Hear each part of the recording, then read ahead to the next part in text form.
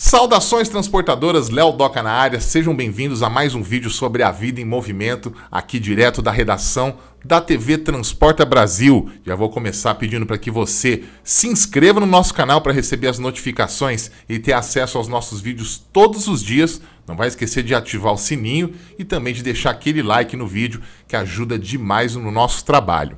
Hoje a gente vai falar sobre um assunto muito polêmico e muito importante no transporte rodoviário de cargas brasileiro, que é a modificação dos veículos, a modificação dos caminhões. A gente tem ouvido aí muitas notícias sobre caminhões arqueados e o que, que eles podem representar de risco nas rodovias para quem está circulando por aí. E a gente viu ultimamente que aconteceram alguns acidentes é, envolvendo caminhões com a traseira bastante levantada, bastante arqueada, né? E a gente quis trazer esse assunto aqui para falar um pouco, saber qual é o respaldo legal que existe nisso e também conversar um pouquinho com os especialistas e com a Polícia Rodoviária Federal, que tem feito um trabalho de uh, monitoramento desse trabalho, de fiscalização e também de apreensão desses veículos. Vamos lembrar que o para-choque traseiro de um caminhão é um ponto muito crítico do veículo, porque é, é ele que vai ter o contato com o veículo de trás em caso de colisão, né? E se a traseira desse caminhão estiver muito levantada, é muito é, comum que aconteçam acidentes mais graves, porque aí, nesse caso, o para-choque do caminhão vai estar na altura da cabeça das pessoas, dos ocupantes do veículo de trás. Então vamos ver o que, que diz a lei sobre esse tema. Conforme o inciso 7 do artigo 230 do Código de Trânsito Brasileiro, conduzir um veículo com características alteradas sem autorização constitui uma infração grave, com acréscimo de 5 pontos no prontuário da CNH e uma multa de R$ 195,23, além da retenção do veículo até a sua regularização.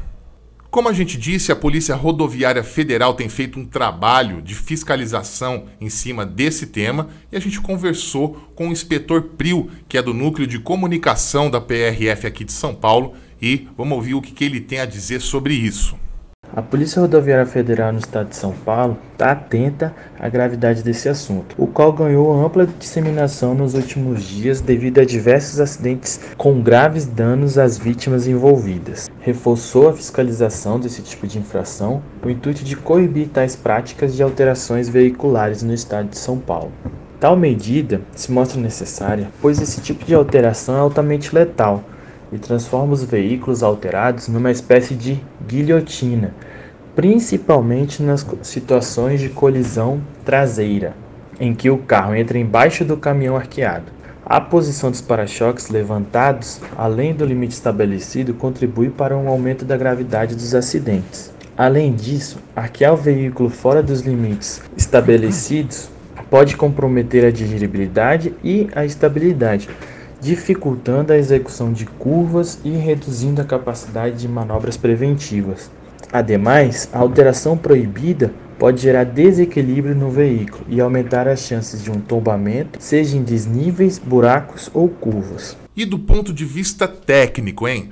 O fabricante do caminhão, o fabricante do implemento, ele contrata lá diversos engenheiros que fazem o projeto daquele veículo e fazem com que ele seja um veículo seguro na estrada, né? Tem a questão do centro de gravidade que não pode se modificar no caminhão porque ele pode causar tombamento, tem várias questões aí técnicas e levantar a traseira do caminhão fere as especificações técnicas do fabricante. Então a gente foi atrás do presidente da Associação Nacional dos fabricantes de implementos rodoviários do Brasil, a Anfir, e a gente conversou com José Carlos Esprícigo, que mandou aqui para a gente um vídeo falando sobre a posição da associação. Se liga aí. Nós da Anfir, Associação Nacional de Fabricantes de Implementos Rodoviários, somos totalmente contra.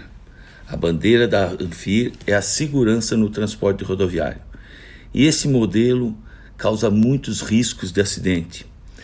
Toda e qualquer alteração em um veículo, um semi-reboque, tirando a originalidade proposta pela fábrica, com estudos de engenharia que vem prejudicar a estabilidade, a frenagem, a distribuição de carga, pode ocasionar acidentes. E por isso nós da Anfir somos totalmente contra essas alterações. O arqueamento não é proibido e existe uma resolução do CONTRAN que fala sobre isso. Dá uma olhadinha aí.